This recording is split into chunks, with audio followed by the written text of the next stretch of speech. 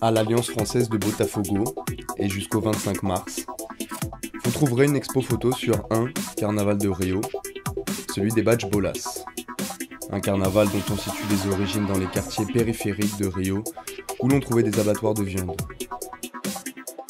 Les Badge Bolas, comme leur nom l'indique en portugais, utilisaient des frondes faites avec des vessies de bœuf ou de porc pour battre violemment le sol, faisant peur à celui qui serait resté distrait.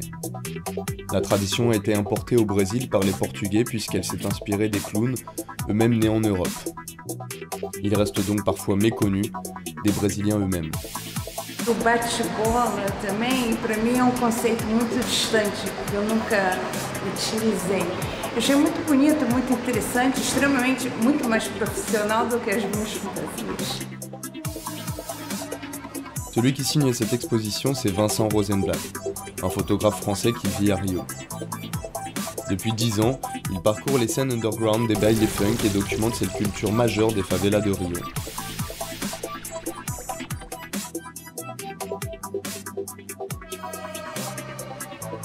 Il exposa notamment à la Maison européenne de la photographie à Paris en 2011.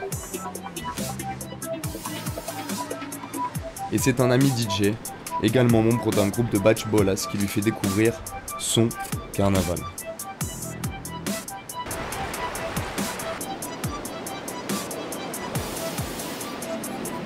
Et tout d'un coup, dans une petite rue du quartier de Guadalupe, des créatures euh, multicolores, toute une culture complexe, riche euh, apparaissait. Et puis, de fil en aiguille, découvrir qu'en fait, il y a des centaines de groupes dans toute la périphérie de la ville, absolument ignorés par, le, par les beaux quartiers, par les télévisions, par le carnaval officiel. euh, euh, médiatisé, sponsorisé, euh, marketé.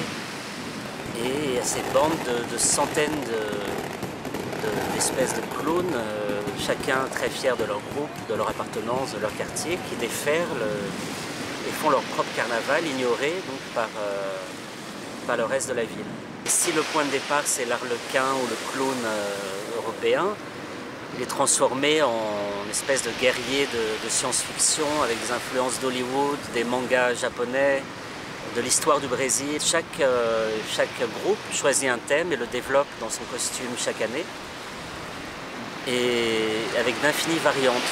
Donc euh, il y a un côté euh, masque, guerrier, entité, mais en même temps complètement contemporain. Il faut les voir sortir en groupe où des dizaines ou des centaines euh, frappent le sol comme une espèce de tremblement de terre et, de, jeu à faire peur aux autres.